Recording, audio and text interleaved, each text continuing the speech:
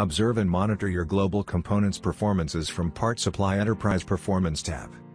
Here access the standardization intelligence to identify and promote components for reuse taking into account engineering, compliance, manufacturing and sourcing requirements.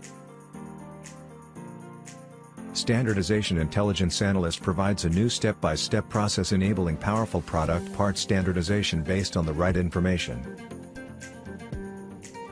Identify clearly for your designers which components are the references to use and reuse, which ones can be considered as alternates.